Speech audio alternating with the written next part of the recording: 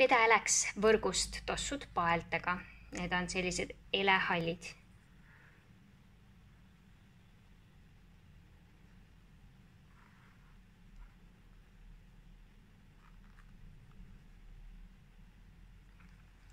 painduvad kenasti ja saab neid ka rulli keerata väga vabalt. väga pehmed, painduvad